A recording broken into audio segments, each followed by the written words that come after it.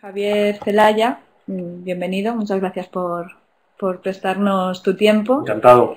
Porque, bueno, como sabéis, eh, preparar un curso no es solo estar en el momento en el que se da el curso, requiere, requiere tiempo de preparación, de hacer eh, los apuntes, de, investigar que todo esté eh, correcto y, y, eso lo valoramos mucho. Cuando, cuando aquí los gobernantes dicen que los profesores eh, trabajan poco no se dan cuenta de que esos profesores también tienen que dedicarle tiempo fuera de las aulas a preparar las asignaturas. Pues lo mismo pasa en Social Video. Por eso nosotros eh, estamos tan, tan orgullosos de, que la gente quiera participar en, Social Video como ponentes porque sabemos que es, que es un esfuerzo en, tiempo sobre todo y en, bueno, en, invertir eh, tus conocimientos y en salir en una webcam que te vea todo el mundo. Bueno, eh, Javier eh, es socio fundador del portal cultural 212. Podéis acceder, tenéis la dirección aquí, 212.com. Es también miembro del Observatorio de, la Lectura de la Junta de Andalucía y codirector del Máster de Comunicación Corporativa e Institucional 2.0 y del Máster de Edición Digital, ambos de la Universidad de Alcalá, en Madrid. Eh, desde el año 2009 también forma parte del claustro de profesores de la Escuela de Negocios La Salle International Graduate School y, entre otros cargos, destaca el de vicepresidente de la Asociación de Revistas Digitales de España, ARDE, y vocal de la Junta Directiva de la Asociación Española de Economía Digital. Eh, bueno, el currículum de Javier es impresionante. Cuando, cuando le pedimos que nos lo pasara eh, eh, estábamos un poco alucinando diciendo a ver cómo vamos a, cortar un poco esto, porque era, era bastante, bastante largo. Eh, pero bueno, yo creo que, si tenéis más, si tenéis interés en, conocer más sobre él en, internet, hay mucha información y, y, bueno, si no nos escribís os lo pasamos, no hay ningún problema. Esa que pasa por aquí detrás es Catalina, la gata nueva de casa. O sea que si, si de repente eh, hay algún problema es, por la gata. Bueno, eh, te, dejo, te dejo la clase ya toda tuya. Me voy a quitar yo los permisos de, de audio y vídeo para que, para que la gente se centre en ti que es lo interesante de hoy. Y bueno, recordaros a los que estáis eh, con Twitter que podéis seguir eh, la charla y comentarla con el hashtag socialbiblio. Y, y así mañana los eh, recogemos todos los tweets relacionados y, y hoy creamos un Storyfy y os los pasamos también, ¿vale? Pues nada, muchas gracias a todos por, por estar aquí. Adelante, Javier. Muchas gracias. Bueno, hola a todos. Muchísimas gracias por vuestro interés y tiempo para durante esta hora pues eh, compartir nuestras ideas y reflexiones sobre cómo estas nuevas tecnologías sociales eh, nos permiten acceder al conocimiento y gestionarlo de forma diferente, ¿no? Espero que durante mi intervención la gata Catalina no coma ningún cable como en el partido del Getafe y podamos tener la sesión sin problema alguno. Eh, tal y como os han comentado, mañana eh, publicarán una copia de mi presentación en la web de Social Biblio, por lo tanto, tomar todas las notas que queráis, pero todos los ejemplos que os traigo con todos los enlaces los vais a tener a vuestra disposición. Por lo tanto, las URLs que aparecen en el lado izquierdo, vuestro derecho de la pantalla, eh, no tomar nota de ellos porque primero los he puesto en cuerpo 8 para que no interrumpan visualmente el discurso y sobre todo porque los vais a tener mañana y cuando tengáis la presentación pincháis y vais directamente al ejemplo, ¿no? Y espero que, bueno, cuando acabe la intervención, pues que tengamos un debate y en el caso que alguna pregunta se quede eh, fuera, pues eh, para lo bueno, para lo malo, como os comentaban, soy demasiado visible y en cualquiera de mis perfiles eh, en los cuales estoy habitualmente, Twitter, LinkedIn y demás, excepto Facebook. Os adelanto que a mí para Facebook es una de las redes sociales que menos utilizo porque la considero una de las más eh, relevantes que he conocido en mi vida. Eh, tengo que estar ahí para decirlo, pero próximamente me iré de la misma eh, por diferentes motivos que, bueno, no toca hoy, pero ya os lo explicaré. a través de los otros canales me localizáis y me podéis hacer las preguntas que queráis. Bueno, vamos a entrar en materia. mi idea es, como os decía, compartir con vosotros tendencias y herramientas que están a nuestra disposición y para ello lo que he hecho es preparar una pequeña presentación que básicamente lo que eh, os va a dar es eh, un esquema sobre estas herramientas que he seleccionado. He sido un poco como un editor, que de todo lo que hay ahí fuera he tenido que cribar aquellas que he considerado más relevantes o más interesantes. hay muchísimas y es una evolución constante. El mes que viene, ahora en octubre, me voy un par de semanas a Chicago y a San Francisco a un par de congresos internacionales de tendencias digitales y probablemente descubra más eh, de estas eh, tecnologías que iré incorporando a mi discurso y que algunas de ellas son una evolución, otras son radicalmente nuevas, pero bueno, lo que hay hoy eh, lo comparto con vosotros. Yo creo que estamos viviendo un momento apasionante desde el punto de vista de lo que está ocurriendo en la sociedad y en el mundo, no solo por la crisis financiera que todos estamos sufriendo, sino por la transformación tecnológica que está viviendo la sociedad. A mí me recuerda mucho a lo que eh, cuando estaba en el colegio leía sobre lo que supuestamente ocurrió en la Revolución Industrial o la Revolución Francesa. Siempre me pregunté qué hicieron aquellas personas que vivieron esa época, cómo la vivieron, cómo actuaron, qué decisiones tomaron. Ahora me di cuenta que es muy difícil verdaderamente saber lo que está ocurriendo en tu propia época, porque la eh, evolución es tan rápida y tan constante que, que es difícilmente posible analizarlo de una perspectiva. Ya vendrá alguien dentro de 30 o 40 años, sociólogos, historiadores, periodistas, y analizarán esta época y dirán si lo hemos hecho bien o lo hemos hecho mal. Pero a mí me encanta vivir la época que me ha tocado. Sé que a mucha gente le crea una ansiedad indebida, desde el punto de vista que considera que por qué no va un poco más despacio, por qué no se ve un poco de luz al final del bosque, cómo, cómo van a ser todos nuestros perfiles, ya seamos eh, profesionales de la documentación, bibliotecarios, libreros, o editores eh, cuál va a ser nuestro perfil, nuestras funciones, si vamos a desaparecer o no. Eh, yo creo que ya afortunadamente empieza a haber un poco de luz, pero bueno, si queréis eso en el debate podemos profundizar. Lo que voy a hacer con vosotros es compartir 10 transformaciones y una reflexión al final que voy a dejar abierto para el debate. Y la primera es que hoy en día todos buscamos y encontramos información en Internet a través de la gran pantalla, que es de nuestro ordenador, y a través de la gran puerta de entrada que es Google. Como sabéis, Google en España tiene cerca de un 90% de cuota de mercado. Todos entramos por aquí, metemos un par de palabras clave y nos dice dónde supuestamente tenemos que ir. Afortunadamente cada vez hay más gente que los resultados de Google no los considera óptimos por diferentes motivos, no le da lo que está buscando, lo repite lo mismo, pero sobre todo debido a la llegada de un montón de dispositivos que están cambiando nuestra manera de acceder al conocimiento y cómo lo consumimos. Yo creo que verdaderamente mucha gente cuando habla de la revolución de Internet, yo más que la revolución de Internet, yo estoy hablando últimamente de la revolución de los dispositivos, de la manera que estos dispositivos están cambiando eh, la forma en que accedemos a la información, a la cultura y la gestionamos. Internet, por así decirlo, llegó a nuestras vidas, pero se incorporó a nuestras vidas de una manera eh, muy gradual y sin verdaderamente romper tanto nuestros hábitos. La incorporamos en el trabajo, la incorporamos en nuestras, eh, en nuestras casas, la incorporamos en las bibliotecas de una manera muy amable, abrimos salas donde teníamos ordenadores para que los usuarios accedieran a Internet, pero la llegada de estos dispositivos inteligentes, sean tabletas o dispositivos eh, móviles, los famosos smartphones, sí están cambiando radicalmente la manera que accedemos a la información y la gestionamos. Ya no tenemos que estar en una ubicación física, sino que estamos en una ubicación móvil y de la manera que la consumimos, de la manera que la compartimos, de la manera que nos relacionamos con ella es totalmente diferente.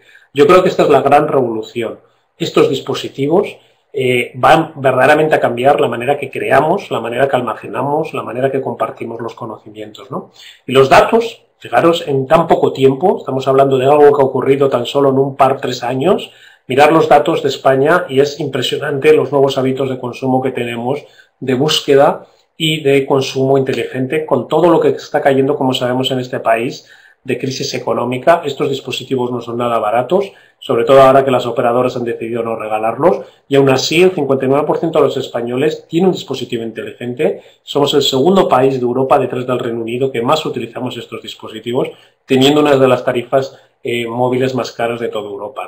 Y en ese contexto, uno de los primeros impactos que tenemos es de qué manera vuestras páginas web, sean de una biblioteca, sea de una librería, sea de un centro de documentación, sea de una editorial, son visibles a través de estas pantallas. Lo primero que tenéis que hacer es, en ese enlace que os pongo abajo, no lo hagáis ahora, hacerlo si queréis mañana, cortáis y pegáis y metéis vuestra página web y os va a decir de qué manera se ven diferentes dispositivos vuestro sitio web. Sabéis lo nerviosos que somos como usuarios en Internet. Si no se ve bien, si no vemos lo que queremos ver, en décimas de segundos nos vamos de ese sitio web.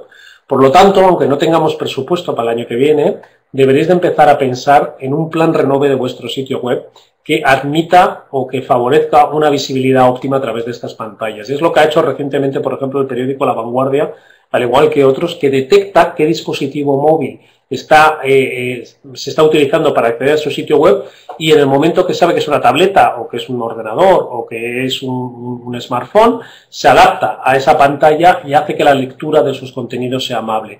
En el caso que no tengáis este tipo de tecnologías, el usuario, como os decía, es impaciente y se va a ir inmediatamente a cualquier otro lugar que supuestamente le ofrezca esa información de manera más amable.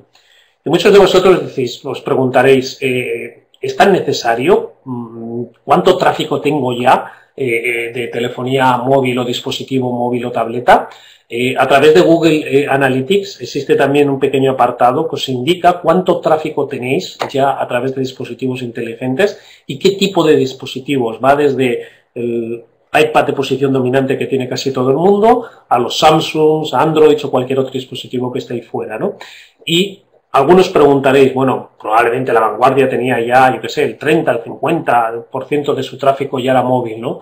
Pues los datos eh, que han aportado es que tan solo el 17% de su tráfico era móvil y que ya con ese tráfico, que un 17% relevante pero no significante, eh, tomaron la decisión de aportar un servicio a sus clientes. Porque al final, como os diré, eh, el, el, mensaje que también quiero compartir con vosotros es que penséis en tecnología como un servicio a vuestros clientes que facilite de la manera que descubren los contenidos en Internet. ¿no? Como siguiente tendencia, eh, hasta ahora en el mundo del libro, en el mundo de la documentación, teníamos unos sistemas de recomendación de libros o de contenidos de artículos bastante básicos, es decir, eh, personas que supuestamente habían comprado un artículo o habían comprado una revista o habían comprado un libro, supuestamente les interesaban estos otros contenidos porque también los habían comprado. Y todos sabemos que esta variable, aunque sea importante, porque el hecho de que compres algo supuestamente demuestra un interés, nunca sabes verdaderamente si eso que has comprado luego ha aportado alguna satisfacción. Es decir, si te lo has leído hasta el final o no, si ha sido útil y no, porque a lo mejor te lo has leído hasta el final, pero lo que te aportaba no era útil, porque yo que sé, eh, no estaba actualizado, o porque se repetía, o porque ya lo, lo habías leído en otro lugar. Eh, en el mundo del libro, desgraciadamente, teníamos unas tecnologías con unas variables de recomendación absolutamente básicas. Lo que hemos detectado últimamente es que estas tecnologías se están complementando con otras que aportan otras variables que son muy, muy interesantes para hacer que el acceso al conocimiento y la manera de gestionarlo sea muchísimo más amable. Esta otra tecnología que se llama Booklam, lo que hace es que te segmenta y analiza los contenidos a través más de la estructura que, eh, del contenido. Es decir, por ejemplo, la forma, el lenguaje. Si un texto es muy denso, si un texto es, eh, por así decirlo, muy descriptivo, si es un libro que tiene mucho diálogo entre las partes, porque hay personas que les gusta cierto tipo de contenidos, no tanto porque tenga, eh, forme parte de su género, me gusta la novela romántica o me gusta la novela histórica, sino que dentro de ese género eh, tiene una estructura que, por así decirlo, eh, se siente muy cómodos. Me gusta la novela histórica donde tengan lugar muchos personajes y esos personajes estén liados entre sí y hasta el final no sepa yo qué sé qué. Bueno, cuando tú te lees un libro, en esta tecnología le indicas cuáles han sido las variables más allá del género y el autor que se da por hecho que te gusta porque te lo has leído hasta el final sino cuáles han sido las variables que más te han gustado y que supuestamente quieres que te recomiendo basado en la misma. Verlo porque verdaderamente es muy interesante porque al final le estás dando un servicio al usuario más allá de las típicas clasificaciones habituales. La siguiente tecnología que os voy a, mostrar, a lo mejor alguno de vosotros eh, la conocéis, es una tecnología que se llama Small pequeños diablillos, y lo que hace son recorridos eh, eh, históricos, perdona, literarios alrededor de los contenidos de un libro. Eh, básicamente tú seleccionas un libro y te hace una pequeña descripción de ese libro y te introduce al libro como si fuera cualquier otra breve exposición del mismo, una pequeña hipnosis, una pequeña descripción de los personajes, pero lo verdaderamente interesante de esta tecnología es que una vez que te ha presentado a los personajes te empieza a descifrar la trama que dice, este libro, mm, si no lo habéis leído, perdonad, he ido un poco rápido aquí en la introducción, este libro eh, que os estoy poniendo como ejemplo eh, es de Oscar Wilde, que ganó el premio Pulitzer hace unos años, y es eh, una novela sobre la dictadura en la República Dominicana del dictador Trujillo. ¿no? como veis ahí en la imagen, te hace una pequeña descripción de los personajes de, de esta familia tenebrosa que reinó, por así decirlo, en la República Dominicana durante bastante tiempo. Y una vez que te presentan los personajes, lo siguiente que hace es presentarse en los lugares eh, donde tuvo lugar la, eh, donde ha tenido lugar la novela, ¿no? Como vemos en el, en el mapa de Google Maps, lo que hace es decirte, pues, por supuesto que ha tenido lugar en la República Dominicana, pero también parte de la novela tiene lugar en Cuba, al igual que en la ciudad de Nueva York, y a lo mejor yo que sé, próximamente va a ser la ciudad de Nueva York, y dices, oye, pues a lo mejor me interesa leer esta novela porque está relacionado con algo que me interesa o estoy indagando sobre el mismo. Una vez que conoces un poco más, nunca te cuenta la historia entera para no quemártela, que conoces un poco más de qué va, te empieza aún a fragmentar más la novela y te empieza a decir qué música, qué películas, qué series de televisión se han mencionado en la misma. Ya sabéis que muchos autores, sea de ficción o no ficción, hay cantidad de ensayos donde constantemente un autor está haciendo guiños o eh, señales a otros libros que le han influenciado o que forman parte de su discurso o en las novelas donde de alguna manera eh, eh, forma parte de la vida de ese personaje. Puede ser que algunos de vosotros estéis en programas, por ejemplo, de fomento a la lectura y queréis atraer el interés de ciertos chavales a ciertas novelas y se le decís que va sobre, yo qué sé, una dictadura en República Dominicana, a lo mejor ni conocen dónde está el país y no les interesa, pero se le empiezas a decir que dentro de esa película se habla de este tipo de, perdona, que dentro de esa novela se habla de este tipo de películas o series de televisión o que existen tramas, dentro de la trama, eh, menciones a estos coches o por supuesto a todas estas armas siendo un buen dictador, se cargó un montón de gente desgraciadamente, puede que estos reclamos, que estos guiños hagan que esas personas estén más interesadas en el contenido que le estás ofreciendo. Y como muchas veces ocurre, un libro descubre otro libro, como luego veremos, y un autor siempre menciona aquellos libros, como os comentaba anteriormente, que le ha influenciado o que de alguna manera ha formado parte de sus lecturas. Y esta tecnología también te descubre esos guiños internos que hace un autor para llevarte al final a otro libro relacionado con ese libro que has descubierto. Como veis son recorridos que lo que te hace es que la manera que descubramos esa eh, novela o ese artículo, porque ya te digo, estas tecnologías, lo bueno que tienen es que no solo son para ficción, sino sirven para no ficción, para libros técnicos, para libros de empresa.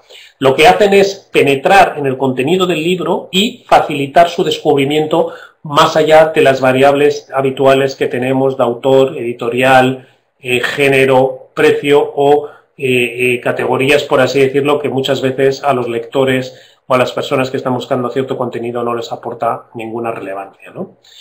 Amazon, la semana pasada, ha hecho una versión, por así decirlo, de esta tecnología eh, más básica, pero no obstante interesante. Si pincháis en el enlace veréis un vídeo en el cual describe cuando tú te vas a descargar a partir de ahora un libro de Amazon, aparte de sus diccionarios y todos los servicios añadidos que te aporta su tecnología, en el Kindle tú vas a, por, por ejemplo, a pinchar en el nombre de una persona y te va a aparecer todo el parentesco, todas las relaciones que hay entre esa persona y el resto de los caracteres, al igual de los grados de intensidad que hay entre ellos y el número de veces que aparece en la novela o no. Muchas veces que nos enamoramos de un personaje dentro de una novela o nos interesa muchísimo un concepto dentro de un libro técnico y lo que queremos es saltar, por así decirlo, de página a página y, hacer un recorrido específico alrededor de ese concepto, alrededor de ese, de ese, personaje, y luego ya veremos si volvemos al libro y hacemos el recorrido, por así decirlo, lineal del resto, ¿no? Pero a lo mejor no tenemos tiempo, tenemos que ponernos al día sobre un tema, y estas tecnologías lo que te van a hacer es guiar dentro del libro de una manera mucho más amable y directa, ¿no? Otra de las tecnologías que hasta ahora residían más en el mundo de eh, cine y de la música y de otras eh, eh, artes, tecnologías que se basaban en un algoritmo de lo que se llama satisfacción real. Es decir, si te ha gustado o no te ha gustado, vale, te lo has comprado, pero te lo has visto hasta el final o no, has escuchado esa canción más de siete veces, ¿Has visto esa película hasta el final? ¿La has comentado o la has eh, utilizado con subtítulos o cualquier otro tipo de comportamiento? Estas tecnologías llegan ahora al mundo del libro y yo creo que son muy interesantes porque van a aportar a los lectores, así como a los profesionales que asesoran, bibliotecarios, libreros, editores, a, otras personas que quieren descubrir nuevos contenidos relacionados con aquellos temas que les interesan, les va a aportar esos criterios para que esa recomendación sea mucho más ajustada. ¿no? Porque estas tecnologías detectan el cuándo nos hemos descargado, el día y la hora que nos hemos descargado un libro, una canción, una película, así como cuándo no lo estamos leyendo, si es por la mañana, si es por la noche, si es en un teléfono móvil o es en un iPad. Y esta eh, recogida de datos, este rastreo que hacen de nosotros, el objetivo principal que tienen estas tecnologías es para recomendarnos nuestra siguiente lectura. Como sabe que te has leído un libro hasta el final o no, como sabes si lo has recomendado o no en un club de lectura, como sabe si lo has subrayado o no y eso que has subrayado lo has compartido, como veremos en otras tecnologías, con otras personas, todo ese conocimiento que tiene de tu comportamiento frente a esos contenidos, y como decía anteriormente, no solo los libros, puede ser revista, puede ser eh, artículos de periódico, al igual que películas o al igual que, que podcast de, de cualquier tipo de contenidos, con ese conocimiento, porque como sabéis todo está en la nube de nuestro comportamiento real, puedes recomendarte tu siguiente lectura. Y también descubrirte personas con tu mismo comportamiento, con tu misma afinidad. Ya no solo es la variable compra, que como os comentaba al principio es una variable algo engañosa en esta nueva era digital, porque yo puede que haya comprado ese libro para regalárselo a otra persona, o puede que haya comprado ese libro, pero por cualquier motivo no me lo he leído, lo he dejado ahí en la mesilla de, del dormitorio pendiente de leer y se ha quedado ahí siempre porque eh, estoy en otro que me ha entusiasmado y luego me han regalado otro y nunca lo he leído. O sí lo he leído pero lo he dejado a la mitad porque a mitad de camino el libro se me ha caído de las manos porque el personaje ha perdido interés. Todo ese comportamiento, toda esa manera de actuar con el contenido queda registrada y de esa manera me recomienda nuevas lecturas al igual que otros lectores.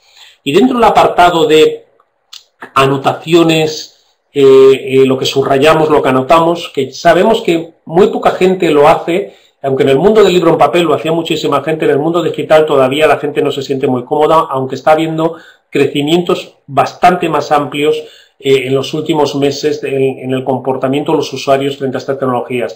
se están haciendo más amables de la manera de interactuar con ellas y también la gente se siente más cómoda a la hora de utilizarlas. Bueno, estas tecnologías de notas compartidas, eh, lo que te facilitan es, cuando las descubráis, cuando pinchéis en ese enlace, es que todo lo que yo vaya anotando en mis diferentes dispositivos, sea un iPad, sea un reader, sea un ordenador, queda registrado en la plataforma y tú puedes compartir no solo la lectura, sino las notas. Y esto es muy interesante porque yo muchas veces, al igual que ha pasado en blogs o en páginas web, mm, no solo es interesante lo que estoy leyendo, sino que muchas veces hasta es más interesante la conversación alrededor de lo que he leído con otras personas que también tienen criterio, ¿no? Y esas anotaciones de las otras personas y otras lecturas recomendadas hace muchas veces que yo descubra contenido que nunca había pensado que estaba a ese alcance, ¿no? Y os comparto aquí diferentes tecnologías similares que cuando pinchéis en los enlaces todas hacen lo mismo, algunas de diferente forma, como esta otra tecnología que lo divide por capas, porque en un libro, sobre todo en un libro técnico, en un libro académico, en un libro de empresa, normalmente hay varias conversaciones paralelas alrededor de un mismo concepto. Puede haber gente que esté interesada en un capítulo específico o puede hay gente que esté interesada en un elemento específico que se está debatiendo y lo que hace esta tecnología es dividir las conversaciones por diferentes temáticas. Y es decir, tú puedes entrar en el libro e ir exclusivamente a aquella conversación que a ti te interesa. Hasta ahora todas las conversaciones estaban agregadas en un mismo bloque y esto lo hemos visto en muchos periódicos, en muchos blogs, que de repente hay un montón de conversaciones que no me interesan, que solo hay un par de conversaciones dentro de esa gran conversación que son las que verdaderamente yo quiero seguir. Esta tecnología lo que hace es segmentar las conversaciones según mis intereses, verla porque verdaderamente es muy, muy interesante.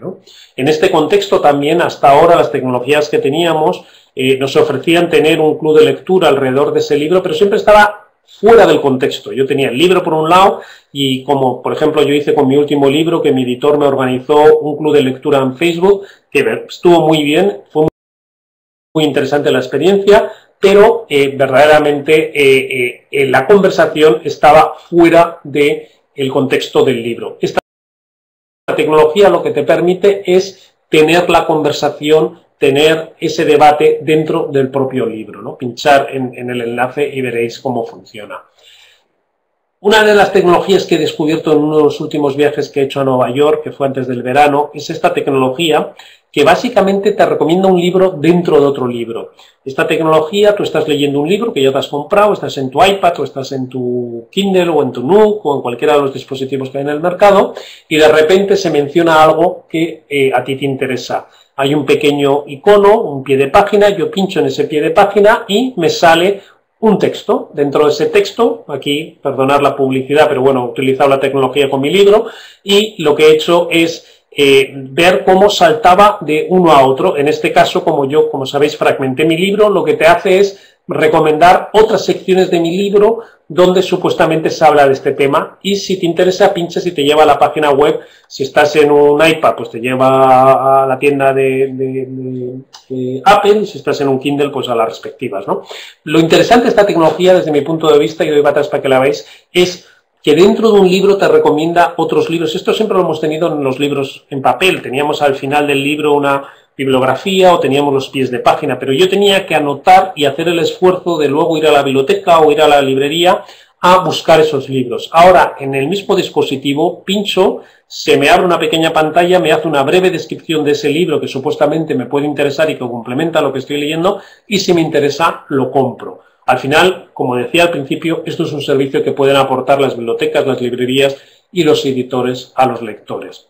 En resumen de esta parte de mi intervención, básicamente estos son tecnologías del concepto este de lectura compartida o notas compartidas que permite estas interconexiones entre lectores y contenidos. Es decir, se fragmenta todo y luego se vuelve a recomponer y las puertas de entradas al conocimiento y de la manera que lo gestionamos es totalmente eh, eh, fragmentario.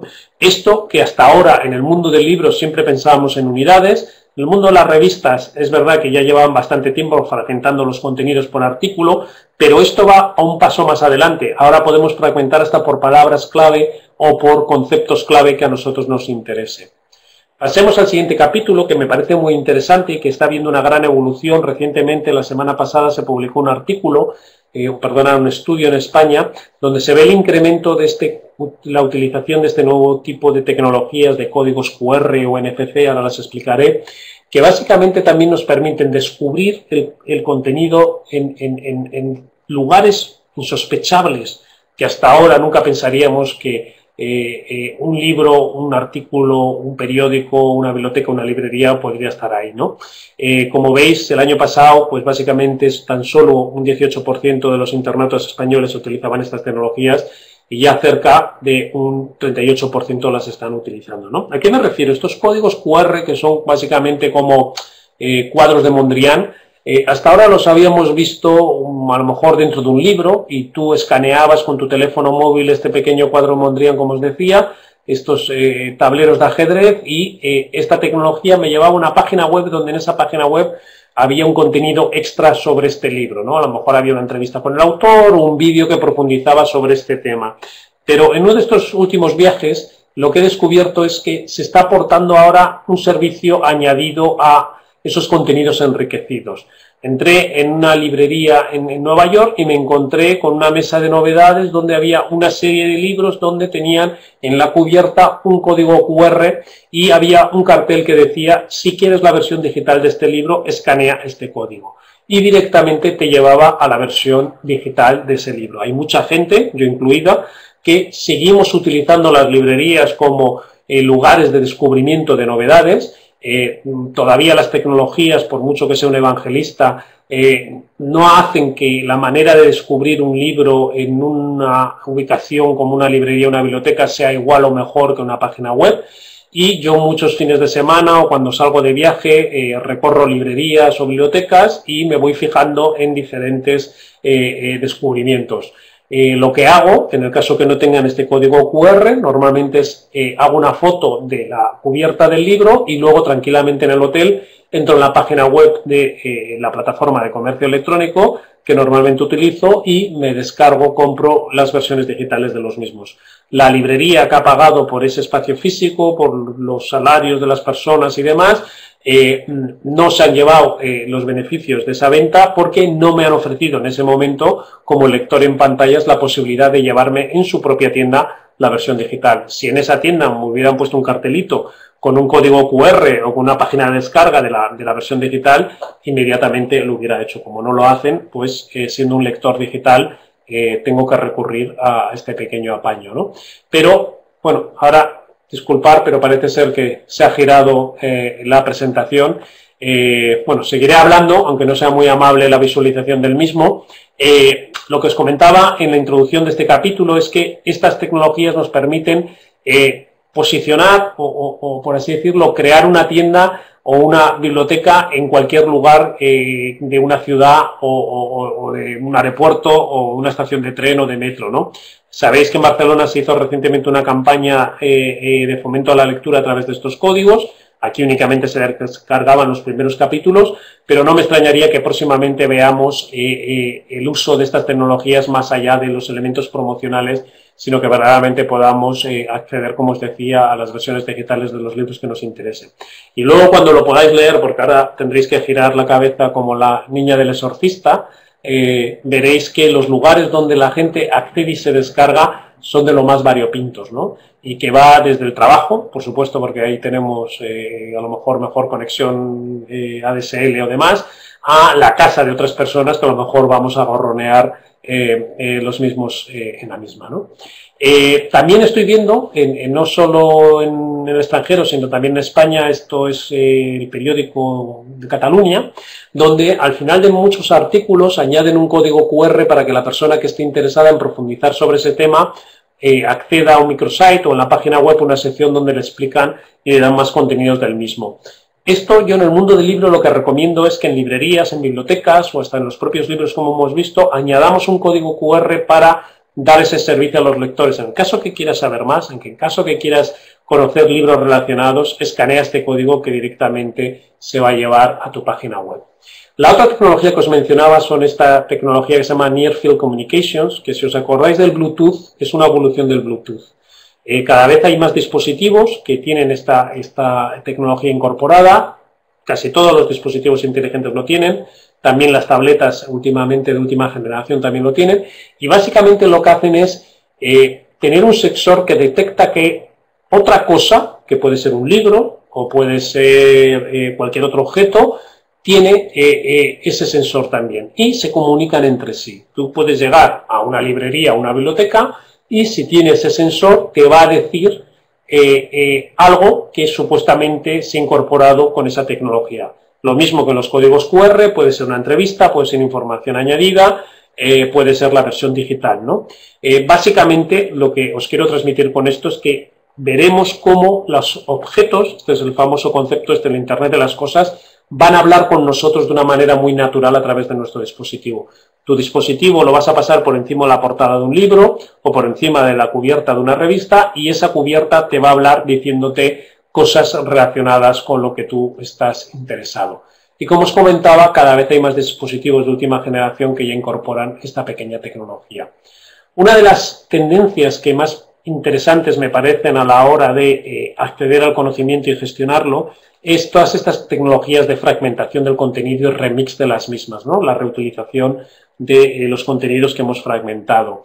Eh, me imagino que habéis visto últimamente, porque se está hablando mucho en los medios de comunicación, todos estos nuevos libros que se están vendiendo, que básicamente el reclamo es que se leen en menos de una hora, ¿no? Son novelas o libros de no ficción o ensayos cortos, de no más de 100 páginas de, duración o menos, eh, a un precio muy competitivo, que están teniendo un éxito comercial enorme, porque, como sabéis, todos vamos con la lengua afuera, no tenemos tiempo para nada, pero sí nos interesa ese tema y lo que queremos es una puerta de entrada al mismo. Esto va a cambiar, como luego veremos, la manera que escribimos, la manera que creamos contenidos, ¿no? Y se está viendo a través de estas eh, eh, tendencias cómo diferentes plataformas, hemos visto la Amazon, Barça Nobel, al igual que iniciativas en España, están apostando por esta fragmentación, por estos contenidos cortos, ¿no? Y dentro de este ámbito os recomiendo pinchar en este enlace cuando tengáis tiempo y ver cómo un ensayo se fragmenta y permite su acceso de una manera muy visual a los contenidos, no solo se fragmenta por capítulos, no se fragmenta por temas, sino que lo fragmenta y lo reordena. A lo mejor tú de este ensayo solo quieres tener eh, eh, acceso a un tema específico sobre cómo las redes sociales está cambiando la manera que eh, nos comunicamos.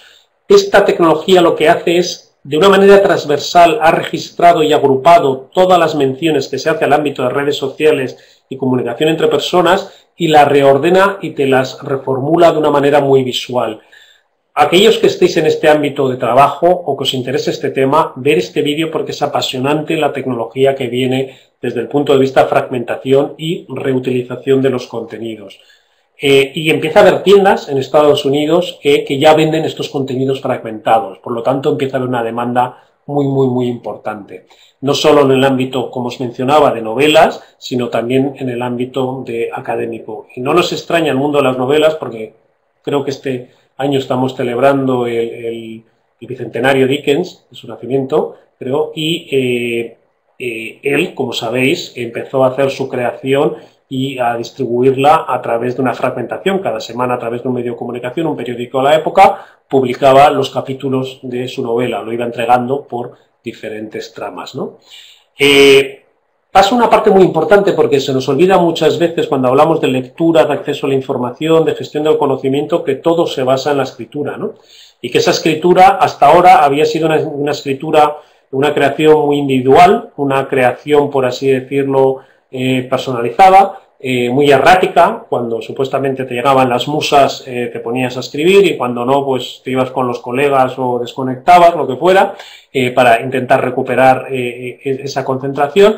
Y empiezan a nacer una serie de tecnologías muy interesantes que yo las denomino plataformas de creación colectiva. Y os he traído aquí varios ejemplos porque me parece que se habla muy poco de ello y que en el mundo del acceso al conocimiento cada vez lo veremos más. El máximo exponente que tenemos como creación colectiva en el mundo eh, académico sería la Wikipedia, con todos sus más y sus menos, naciendo de esa filosofía donde se escribe un texto y ese texto se comparte, ese texto se enriquece, ese texto se actualiza y como veis en este cuadro de mando eh, la edición es muy similar a cualquier procesador de textos que utilicéis en vuestros ordenadores. Lo interesante desde el punto de vista de creación es que el editor eh, eh, eh, que esté esperando esa obra para publicarla y darla a conocer, o el, redactor de una revista, sabe si la persona está trabajando o no en la, en la obra, cuál es el estado de la misma, si la va a terminar en la fecha supuestamente que se ha comprometido o no. Eh, sabéis que este es uno de los grandes problemas del, mundo del libro, que eh, aquí yo como autor lo he hecho muchas veces, por lo tanto, eh, hasta hago mi mea culpa, de que le dices al editor te lo voy a entregar después del verano y por diferentes motivos no llegas y le tienes que llamar a última hora diciendo dame un plazo extra de tres meses y te lo entrego por navidades porque quiero terminarlo con más tiempo y que verdaderamente te entregue algo que yo me sienta cómodo. ¿no? Utilizando estas plataformas, el editor va a saber si estoy o no estoy avanzando, si estoy bloqueado, si necesito ayuda, si, si, si estoy adelantado por cualquier motivo, porque me estoy motivando y estoy sacando todo adelante. Es, es muy interesante el proceso transparente que se establece en todo este tipo de creación. Y luego hay autores, en este caso es una autora norteamericana que eh, recientemente ha descubierto este caso, donde abiertamente eh, está escribiendo su obra y la gente puede ver la evolución de su novela en línea en tiempo real como si estuviera eh, escribiendo directamente en Twitter, en este caso es a través de un Google Docs que lo está compartiendo con todas aquellas personas que, sean, que quieran formar parte del proceso. ¿no? Y luego lo interesante de estas tecnologías es que una vez que ya eh, lo has eh, eh, terminado, lo publicas, puedes permitir que la gente te lo compre o que lo lea en pantalla, mirar las diferentes tecnologías que a continuación os voy a, compartir, porque yo creo que es algo que profundizaremos, evolucionaremos en los próximos meses de manera muy, muy rápida. ¿no? Y tenéis aquí varias, que os he traído varios ejemplos de este concepto de creación compartida, como puede ser Pressbooks, que ya tiene varios libros hechos en esta plataforma y que te permite luego como lector comprar, eh, por así decirlo, y acceder a la unidad. Lo puedes leer gratuitamente eh, eh, en línea o si que prefieres descargártelo porque te vas de viaje en un avión y quieres leértelo allí, pues entonces ya tienes que eh, comprar eh, la versión digital, IPAP o PDF que más te interese. ¿no? Eh, existen otras como Pandamian, que también te permite hacer estos mismos procesos de manera diferente, pero básicamente con el mismo enfoque, al igual que Medium, que acaba de ser lanzada, aunque aquí sí tiene más carga, por así decirlo, los conceptos audiovisuales de imágenes, que yo creo que también va a ser otra de las tendencias, aunque hoy no voy a hablar de ello, de creación más multimedia que textual, que es del mundo donde venimos. ¿no? se está viendo en todas las partes, ¿no? Desde qué manera este, esta creación colectiva está abriendo las puertas a la manera que accedemos al conocimiento y eh, eh, existen ya, eh, decenas de academias virtuales. Yo este verano he hecho un par de cursos de verano en Coursera. Si no lo conocéis, además de Khan, eh, Coursera y otras similares, son plataformas en contenidos en abierto donde la gente sube su conocimiento, eh, lo comparte y se establecen eh, todo tipo de relaciones alrededor de esas afinidades. Os recomiendo verlas porque verdaderamente están muy bien hechas desde el punto de vista de su acceso, su habilidad, eh, su manejo, al igual que por supuesto los contenidos. ¿no? Y al igual que hemos visto en el mundo eh, eh, de las redes sociales, la expansión de las redes sociales generalistas, empezamos a ver ahora la llegada de estas redes sociales especializadas en compartir el conocimiento. Yo creo que es muy positivo, ¿no? Porque a medida que Internet se va inundando de montones de contenidos, uno más relevantes que otros, igual que en el mundo en papel, nada diferente, también había mucho contenido relevante en papel. En el mundo digital, encontrar aquellas personas que tengan algo que aportarnos o personas con nuestras mismas afinidades o contenidos que necesitamos para el aula o para temas personales, en el día de mañana, antes de lo que sospechamos, va a ser muy difícil. Y estas herramientas, al igual que estas redes sociales, nos va a ayudar a acceder al mismo. ¿no? Esta tecnología es la más friki de toda la presentación, pero yo siempre digo que todos nosotros tenemos un lado friki y, viene del mundo farmacéutico y del mundo del deporte, donde estas tecnologías lo que hacen, al igual que las tecnologías de la lectura social y las notas compartidas, hacen un seguimiento de nuestro eh, comportamiento frente a diferentes estados de emoción. ¿Y qué hacemos en esos estados de emoción? Cuando estamos tristes, ¿qué tipo de música escuchamos?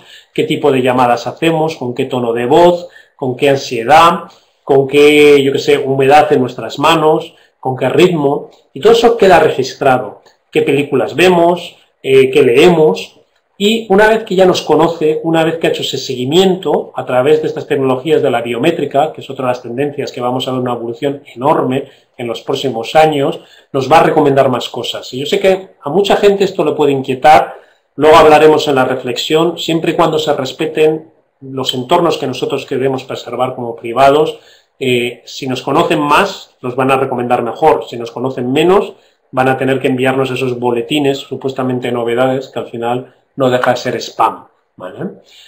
Y llego a esa reflexión dentro de, esa filosofía. Todo esto que os he mostrado eh, son tecnologías que nos ayudan a descubrir contenido de manera diferente, que nos ayudan a acceder al mismo y gestionarlo de diferente manera, como hemos visto a través de las tecnologías de la creación colectiva, además también de el, compartir notas o el compartir lecturas. Todo eso es muy positivo. Eh, yo como evangelista, aquellos que como conocéis de todo esto, eh, eh, creo firmemente en ello, pero sí también abogo por una reflexión en alto sobre verdaderamente hasta dónde tenemos que ceder nuestros datos personales hasta dónde verdaderamente esa intimidad de nuestra lectura, qué estamos leyendo, eh, por qué lo estamos leyendo. No es que estemos leyendo nada guarro, no estoy suponiendo que todos vosotros estéis leyendo esa novela de moda que todo el mundo habla de ella, de los 50 eh, tonos de grises o como se llame. Eh, no, es, no es por eso, es básicamente que yo creo que todos nosotros como ciudadanos, como consumidores, como lectores, como profesionales del mundo del libro, debemos respetar en los ámbitos de privacidad de cada uno de nosotros y de los de terceros. Si yo quiero compartir algo es porque quiero que al compartirlo se me dé un mejor servicio. Pero eso no significa que eso que he compartido se haga público, como recientemente hemos visto en la red social Facebook, y por eso os decía que me parece una de las más irrelevantes por el abuso que hace de nuestros derechos. Me parece absolutamente fuera de lugar que porque ellos quieran y cuando ellos quieran cambien las normas eh, de, privacidad sin previo aviso y haga que conversaciones privadas o cosas que no hemos querido compartir, como fotografías o vídeos o cualquier cosa, de repente sean eh, eh, de uso común. Porque los promotores de la plataforma consideran que eso tiene que ser público, cuando nosotros hasta hace nada pensábamos que estaba en nuestro entorno privado. Creo que todo esto lo debemos de defender porque estas tecnologías, como os decía, saben cuándo nos hemos descargado la canción o la película o la revista o el libro, si lo leemos o no en un móvil, un iPad y demás. Si no hacemos porque estas empresas nos ofrezcan estos servicios sin pagar este precio tan alto que son nuestros datos personales, verdaderamente yo creo que vamos a crear una sociedad de analfabetos digitales. Por supuesto que tenemos que relacionarnos con estas tecnologías, pero no tienen, por ejemplo, que tener nuestros datos de manera ilimitada en sus servidores. ¿Por qué cada año no borran nuestro historial, en el caso que nosotros lo deseemos. O por qué no podemos, por ejemplo, transportar todas mis notas o transportar todas mis recomendaciones a otra plataforma. Recientemente en, nuestro mercado, aquí en España, eh, conseguimos, a través de eh, una presión a las operadoras de telefonía móvil, que liberaran nuestros teléfonos móviles. Es decir, que si yo tenía un teléfono móvil y me quería ir a otra compañía, no tenía por qué perder ese teléfono móvil con todos los daños que causaba o inconvenientes que tenía que decir a todo mi entorno familiar que ese nuevo eh, teléfono había dejado de ser operativo y que tenía uno nuevo. Ahora todo vemos como algo normal, como un derecho que podamos transportar nuestro número de un lado a otro. Eso no ocurre en el mundo del libro. Si tú quieres llevarte tus notas, si tú quieres llevarte lo que te has comprado en una plataforma, toda tu biblioteca de libros, desde Amazon a, cualquier otra plataforma, que no lo vas a poder hacer. Todo lo que tengas en Apple se queda en Apple. Y yo verdaderamente creo que esos son derechos que estamos perdiendo y creo que los profesionales del mundo del libro, los gestores de la documentación, los profesionales, que básicamente sois todos vosotros que estamos en esta charla, debemos crear un debate alrededor de este concepto, porque si no, verdaderamente estamos creando una, asociación, una sociedad que va en contra de nuestros intereses. Y el hecho que ellos digan, todas estas plataformas, que el mundo digital es así, no es cierto. Son intereses económicos detrás de los mismos. Almacenar nuestros datos personales, darnos ese servicio de inmigración de uno a otro, va en contra de sus intereses. Es un tema simplemente económico de modelo de negocio, pero que tenemos que abogar porque se defiendan nuestros intereses privados, públicos, por encima de los intereses económicos de estas empresas por muy legítimos que sean. ¿no? Y con esto quería terminar mi charla y si queréis hablamos ahora a través del chat eh, y continuamos el debate. Muchas gracias por vuestra atención. Voy a aprovechar para ver.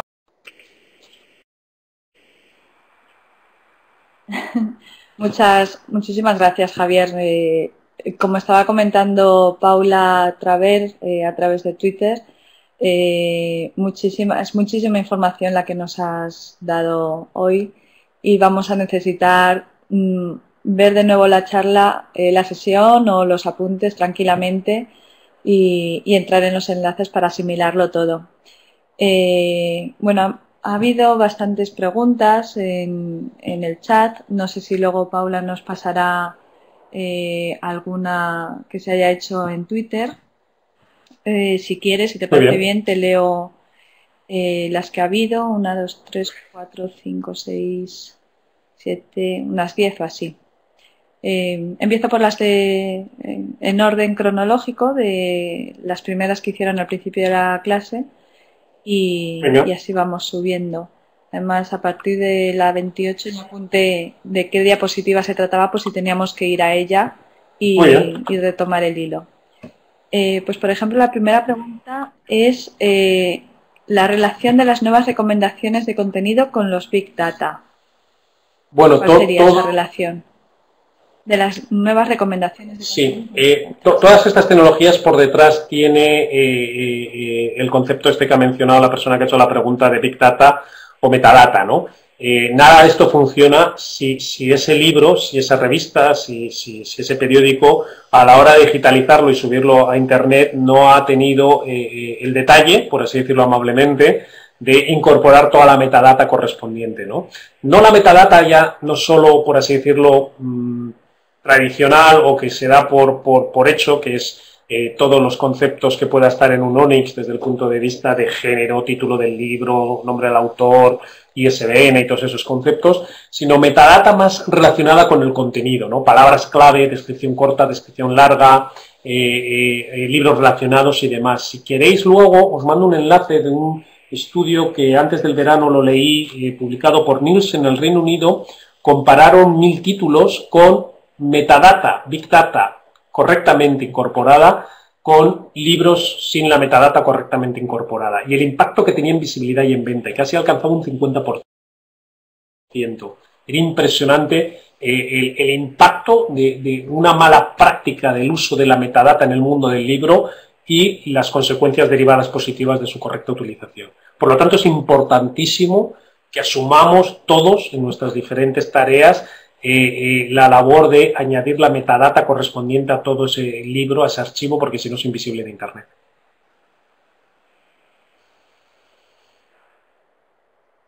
Eh, muchas gracias. Yo creo que, ha quedado contestada la, pregunta.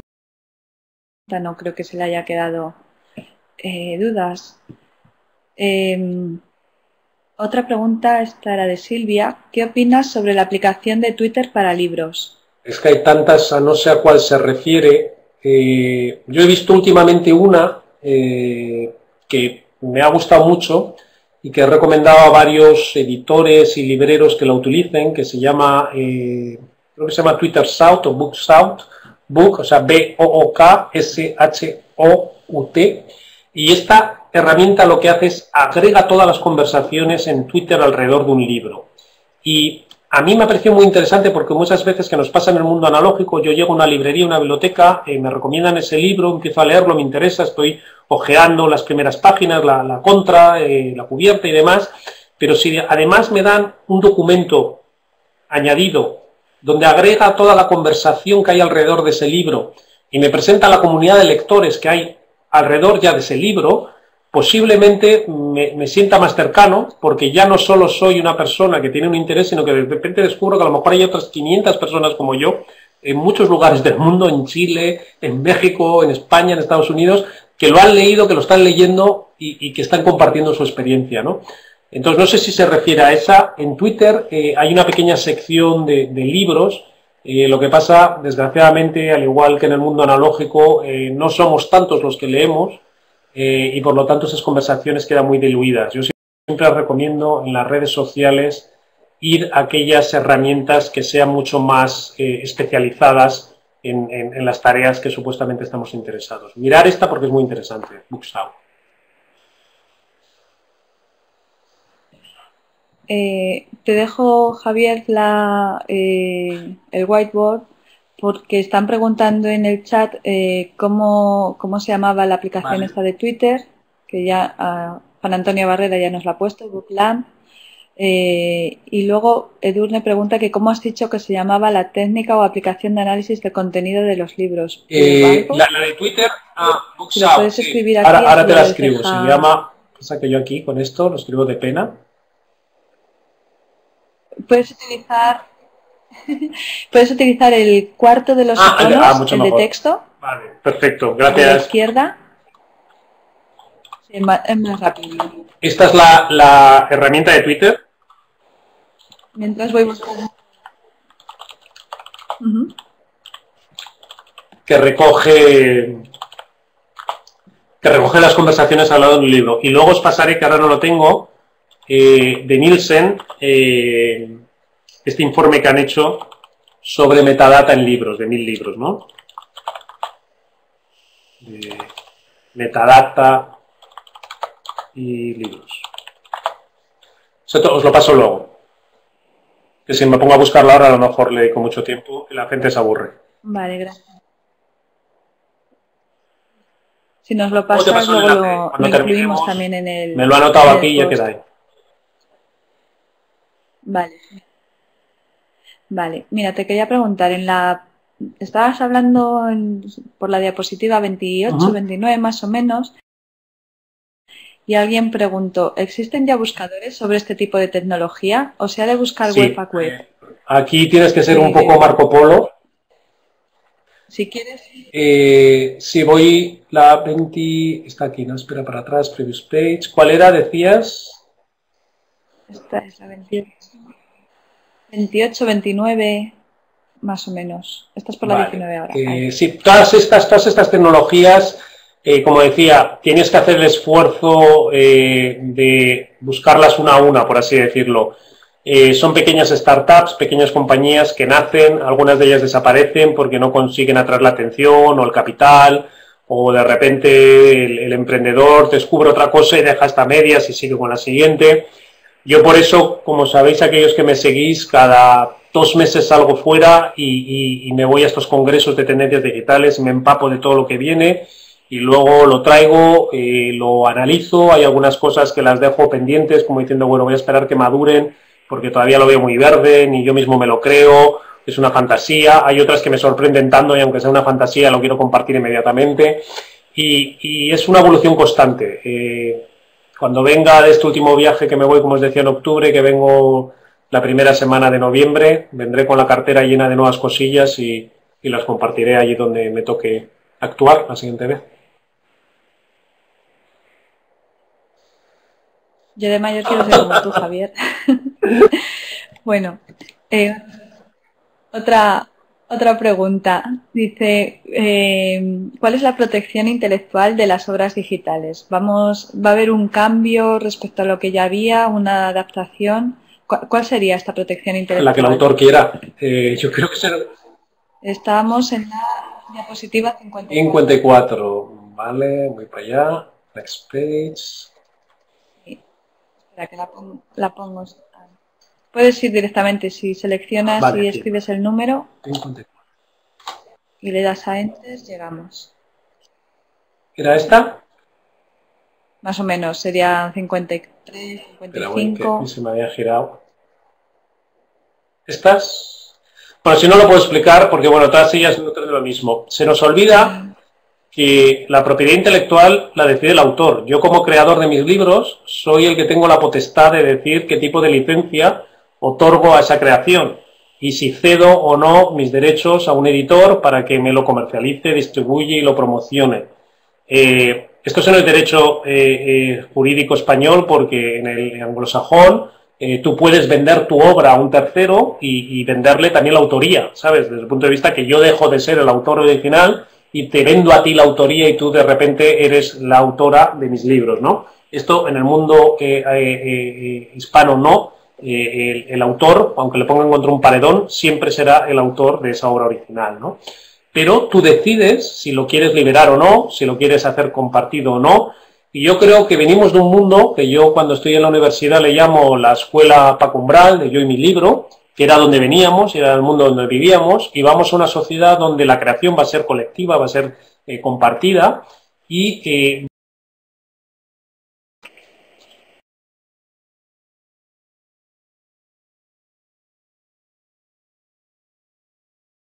recompensar a los creadores, porque a mí estas escuelas intencionadas, como siempre en la vida todo tiene un interés de supuesta gratuidad, eh, eh, eh, hay que compensar a los creadores de cualquier tipo de creación artística, desde música, cine, literatura o obras de, no ficción, porque si no esos creadores no viven ¿no? Y, no pueden mantener sus creaciones. Por lo tanto, en esta nueva era digital todavía está por ver de qué manera esos modelos de negocio compensan a los creadores, pero sin lugar a dudas sería muy triste como una sociedad digital que creemos una sociedad donde no se compensen a los creadores eh, eh, que aporten sus creaciones, sean en abierto o sean en cerrado. He visto que uno de vosotros, Ivonne, ha puesto ya el enlace de Nielsen y es ese. ahí lo podéis ver en el chat. Gracias, gracias, Ivonne. Eh, a ver, más preguntas. Dice, la fragmentación es una estrategia que ha funcionado en el ámbito de la música digital. Eh, en tu opinión, ¿qué semejanzas y diferencias encuentras con respecto a la digitalización del libro o de los, de los contenidos textuales? Yo creo que es muy similar y, y lo que básicamente es un servicio para el lector. O sea, yo no quiero todo el libro por cualquier motivo, porque ya sé de ese tema y solo quiero el último capítulo. O de este autor ya me he leído toda su obra y sé que ese libro eh, los cinco primeros capítulos es una repetición, un corta y pega, igual que en el mundo de la música, ya sabíamos muchas veces que de los 12, eh, las 12 composiciones había tres que merecían la pena y el resto eran relleno, ¿vale? En el mundo del libro también sabemos que pasa mucho de eso, ¿no? Que hay una evolución, un relleno y que verdaderamente hay tres, cuatro cosas que me merecen la pena. Pues esta fragmentación te va a permitir a ti como lector, como usuario, ir directamente a aquello que a ti te interese. Eh, pero esto no impide que si por cualquier motivo un creador no quiere que su obra se fragmente porque considera que su obra es una totalidad y que tú para entenderla tienes que consumirla, disfrutarla de principio a fin, tiene todo su derecho a decir que no se fragmente su obra. O sea, esto no son sectas, esto es servicio que se pone a disposición y que el creador dice que sí y que cede su obra para que se haga eso, o dice que no, y tiene todo su derecho y no hay que criticarle ni, ni, quemarle en la hoguera de Twitter porque no lo hace, es una decisión personal y hay que respetarla, eh, nos guste más o nos guste menos, pero él ha sido el creador y con su obra hace lo que le dé la gana y yo como lector, si me lo ofrecen, hago lo que me da la gana también con ella y si luego hago una obra derivada, pues bienvenida sea porque posiblemente sea mejor que la original.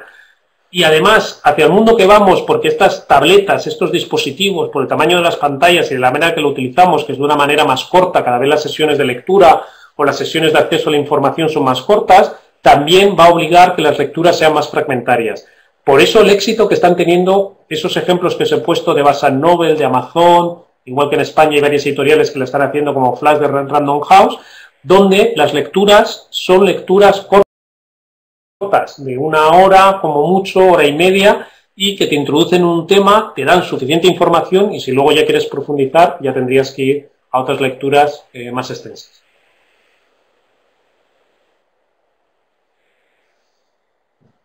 Eh, gracias.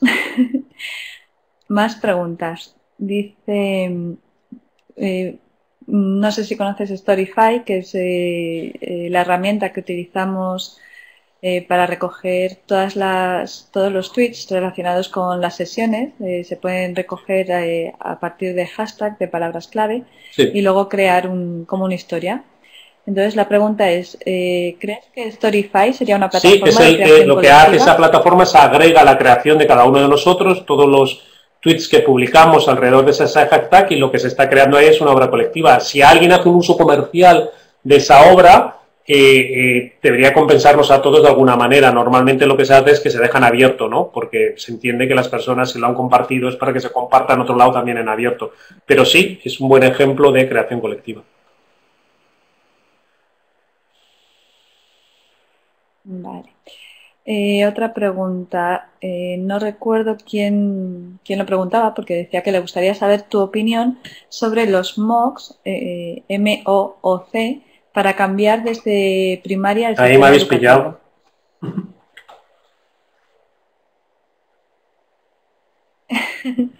A ver, MOOC, eh, la verdad es que nosotros lo, lo descubrimos. Eh, este Massive Open Online Course. Vale. si, es eso que veo aquí, que Paula dice que es Massive Open Online Course. ¿No? ¿Es esto? Sí, en, sí. En teoría, no sé si los conoces, es un término que nosotras hemos descubierto hace, hace poco.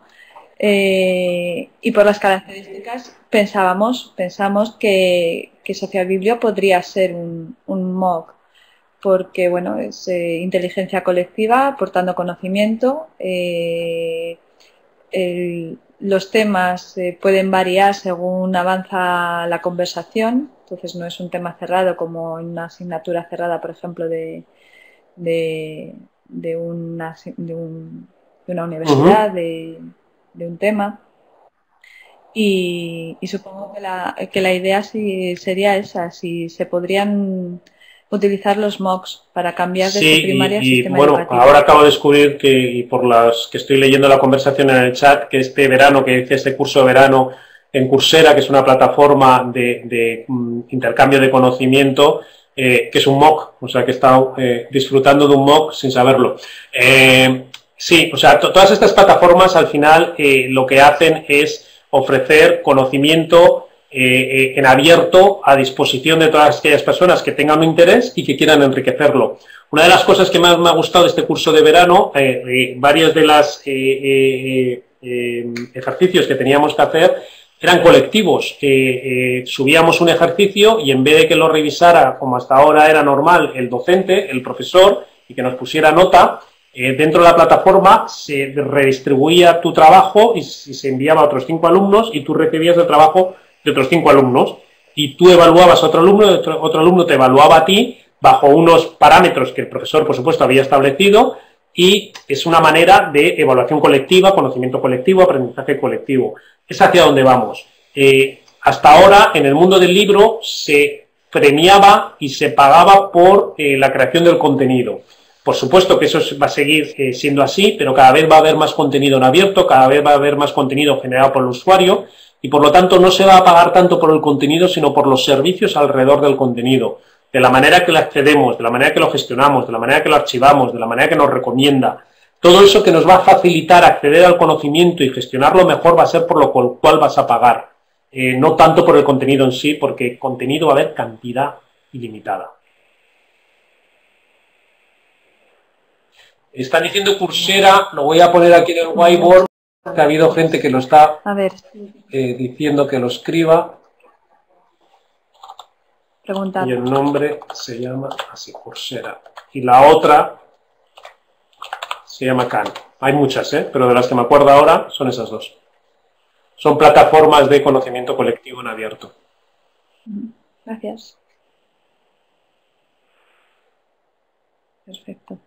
Eh, a ver, eh, tengo cuatro o cinco preguntas más y si os parece bien las hacemos y, ya lo dejamos aquí para que no se alargue mucho la charla. Eh, si hubiera más preguntas nos las podéis enviar por correo. Em, por ejemplo, ¿es el, final de, ¿es el fin de la privacidad con la lectura digital? Y verdaderamente, como os he dicho al final, eh, que aceptemos esa versión de la era digital eh, diría bastante poco de nosotros dentro de 30 años. Eh, obedece a unos intereses económicos de estas plataformas que todo su modelo de negocio se nutre de nuestros datos personales para venderlos con fines comerciales. Eh, creo que sería muy triste que, admitamos o que cedamos o que, o que por lo menos no, no, peleemos porque esos derechos que hemos eh, adquirido durante los últimos siglos como ciudadanos, como consumidores y como lectores, los cedamos ahora porque estamos entrando en una nueva era y que en esa nueva era, como es el principio, eh, se están redefiniendo todo y todas estas grandes empresas, llámese en Google, Amazon, Apple y similares, que están dictando el curso eh, eh, nos digan que la privacidad ha acabado, que, soy un dinosaurio que tengo muchas canas y que por eso hablo de estos temas, porque supuestamente las nuevas generaciones tienen otro concepto. Es mentira. Todos hemos sido jóvenes, todos hemos ido a la universidad y hemos hecho un montón de cosas pensando que nos comíamos el mundo, pero luego hemos llegado al mercado laboral y al mundo real y sabemos que las cosas son diferentes. Eh, eh, obedece, como digo, a unos intereses comerciales absolutamente legítimos. Yo soy empresario y cada uno tiene su empresa y hace lo que le da la gana con su empresa. Otra cosa es que sea ético o no ético y a mí me parece que son negocios poco éticos en muchos aspectos. Pero bueno, no es el debate de hoy. Lo que me niego es a acceder eh, en el pensamiento de que la lectura social que aporta muchísimos beneficios derivados como que me presenten gente con mis mismas afinidades, como descrito, personas que a lo mejor están residiendo en, yo que sé, en Veracruz, en México o en Santiago de Chile y que físicamente probablemente nunca las conozca, pero que gracias a estas tecnologías podamos compartir un montón de conocimiento. Eh, en el curso este de Coursera estábamos 33.000 alumnos al principio, eso sí, al final del curso, seis semanas, solo quedábamos 5.000 y pico, ¿no? Eh, hubo mucha gente que por diferentes motivos se perdió por el camino, ¿no? Pero esas 5.000 personas que quedamos hasta el final teníamos un interés común sobre temas de Internet y yo creo que debemos entre todos empezar a abiertamente decir que sí a estas tecnologías, pero no de la manera que ellos quieren, sino de la manera que nosotros queremos. Lo hemos hecho en el mundo analógico, lo podemos hacer aquí. A ver, eh, Están, generando comentarios y, aquellas personas que os interese este tema en 2.12, porque he visto que una persona, que Ivonne que está ahí en esto, está haciendo una mención a un libro de, Jeff Jarvis que, lo he leído, que se llama Partes Públicas, he escrito a la vuelta del verano un artículo que se llama eh, Autores Antidigitales, y, hablo de estas dos escuelas de opinión, de la escuela que dice que Javier eres un carca y debes de empezar a pensar de otra manera, eh, el mundo ha cambiado, no te enteras de la fiesta, eh, esto obedece a otras cosas, y hay otros autores que dicen en línea que yo me siento más cómodo que no, que hay otra manera de pensar, que hay otra manera de hacer la era digital, que no es que seamos carcas, sino que somos eh, personas con un pensamiento crítico.